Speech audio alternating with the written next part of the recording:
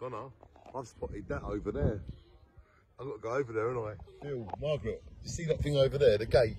There's all new stuff going on. So do you know what that means? I've got to go and film it. Because I'm like a kid, I want to go and film it. So, shall I go and film it? Yeah. All right, I'll see you all soon. Just letting everyone know, let everyone know what I'm doing here. See you soon.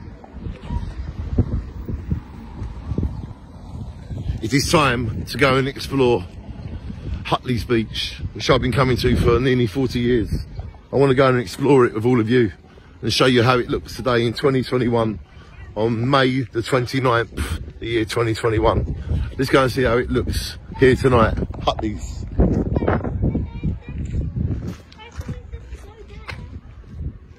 We love Hutley's Beach. Wow, they've made it all improved. This looks well good. Wow, look at all the sea defence. What a great job. Look, it looks legendary. The mighty Hutley's ice cream stores. Wow, look at that. That looks superb. I must say they've done an amazing job here. This looks superb. And we can just keep going on up there to the nudist beach. And I think they've done a marvellous job shine on to Hutley's Beach. Really good sea defence work as well. Saving our community from floods. And all people, when they go out for their walks, take a bag with you and pick up some plastic and some rubbish. Make it a better world. Shine on from Hutley's Beach to you all.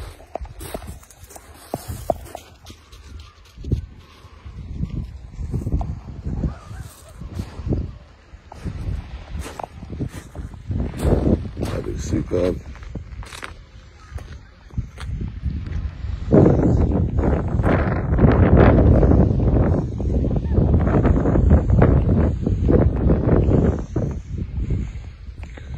Wow, looks like just a beautiful place.